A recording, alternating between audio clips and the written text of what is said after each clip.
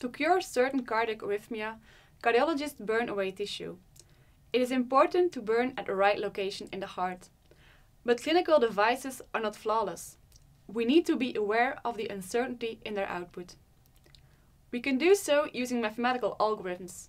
Therefore, we need a reliable computational model of the heart and an algorithm to determine the properties of the heart.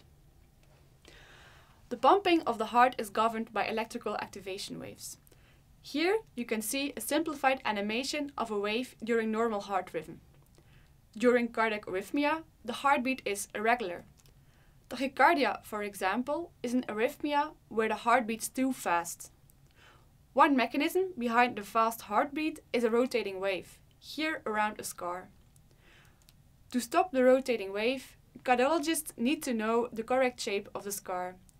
In this project, we apply Bayesian inversion to quantify uncertainty when determining the shape of the scar.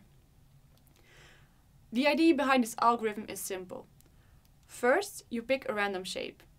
Then, you generate a surrogate of the clinical data based on this shape.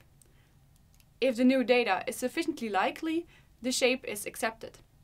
If not, it is discarded. And then we go back to the start. If it is this simple, why isn't the algorithm applied in the clinic yet? The bottleneck is in the second step. The computational cost of generating surrogate data is remarkably high. On the other hand, we need many iterations of the algorithm to get reliable output. We continuously need to make the balance between a realistic computational model and its computational costs. This balance is not easy and keeps challenging us. However, we managed to run a first proof of concept. Curious for the results? I invite you to check the poster that comes with this pitch.